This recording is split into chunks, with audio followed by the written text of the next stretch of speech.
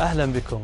أعلنت لجنة الحكام الرئيسية لكرة القدم أسماء حكام مباريات الجولة الرابعة لدوري عبد اللطيف جميل للمحترفين لكرة القدم والتي ستقام يومي الجمعة والسبت القادمين وجاء التكليف على النحو التالي لمواجهة الهلال مع الاتحاد على أرض ملعب استاد الملك فهد الدولي بالرياض الحكم الدولي صالح الهذلول ويعاونه الدوليان عبد الله شلوي وأحمد فقيه ولقاء الرائد مع النصر. على أرض ملعب مدينة الملك عبد الله الرياضية ببوريدة. يديره الحكم الدولي فهد العريني ويعاونه ماجد الناصر ومحمد العبكري. ولمباراة التعاون مع الاتفاق على أرض ملعب مدينة الملك عبد الله الرياضية ببوريدة. يديرها الحكم الدولي خليل جلال ويعاونه الدولي عبد العزيز الأسمري ومحمد لحمر. ولمباراة العروبة مع الفيصلي على أرض ملعب نادي العروبة بالجوف يقودها الحكم الدولي عبد الرحمن المالكي ويعاونه محمد العرمطي وعلي بدوي. ولمواجهة الشعلة مع نجران. على أرض ملعب نادي الشعلة بالخرج يديره الحكم الدولي سامي النمري ويعاونه الدولي مؤيد الصايغ ومحمد الشهري. أعلن الأمير فيصل بن عبد العزيز بن ناصر عن حضوره لمباراة الشباب وكاشيوا الياباني يوم الأربعاء المقبل. على ملعب استاد الملك فهد الدولي في إياب دور ربع النهائي من دوري أبطال آسيا وذلك دعما لممثل الوطن في البطولة الآسيوية.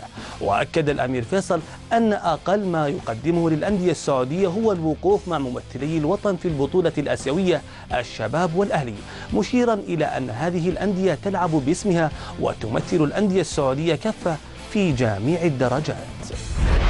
اختار الأسباني أنطونيو مدرب المنتخب السعودي للناشئين لكرة القدم قائمة تضم 23 لاعبا للانضمام لمعسكر المنتخب الذي ينطلق في الرياض غدا الاثنين استعدادا لخوض تصفيات كأس آسيا 2014 والتي ستقام في الأردن خلال الفترة من الخامس والعشرين وحتى التاسع والعشرين من شهر سبتمبر الحالي.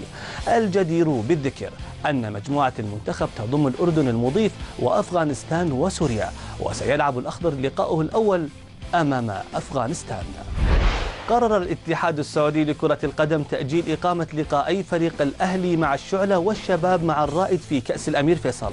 وستقام مباراة الشباب والرائد يوم الثلاثاء الموافق الأول من أكتوبر على ملعب الأمير خالد بن سلطان بنادي الشباب فيما ستقام مباراة الأهلي والشعلة في الخرج بنفس الميعاد. وجاء هذا القرار بسبب استدعاء عدد من لاعبي الشباب والأهلي إلى معسكر المنتخب الأولمبي المشارك في دورة الألعاب الإسلامية المزمع إقامتها في أندونيسيا. أعلن نادي ريال مدريد الأسباني اليوم الأحد على موقعه الرسمي تجديد تعاقده مع نجم كريستيانو رونالدو. ودعا النادي وسائل الإعلام لحضور الحدث بهذه المناسبة في ملعب السنتياغو بمشاركة رئيس النادي وكريستيانو.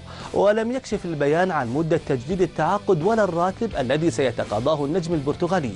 وكانت تقارير إخبارية. قد أعلنت في وقت سابق أن النجم البرتغالي يعتزم تجديد تعاقده مع الميرينجي حتى 2018 دون الكشف عن راتبه الذي سيظل في طي الكتمان ذكرت صحيفة لاجازيتا يالو سبورت الإيطالية أن مدرب حراس مرمى فريق جنوا الذي ينافس في دوري الدرجة الأولى الإيطالي قبض عليه وهو يتجسس على تدريبات فريق سامبادوريا.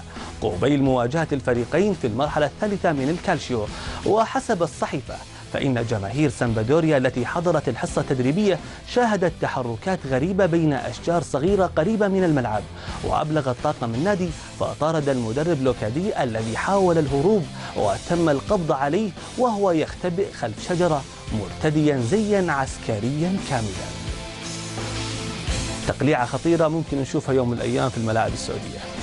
عودة مجددا للزميل تركي العجمي.